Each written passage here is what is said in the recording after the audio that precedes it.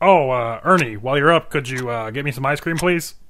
Sure, Bert. Oh, no, no, I said, uh, ice cream. Could you give me some ice cream? Yeah, sure, Bert. No. Ice cream. That's what I said. I'm gonna go get you some ice cream. Alright, so you say you're gonna go into the kitchen, Yep, get me some ice cream, Mm-hmm. and bring it back here. that's the plan.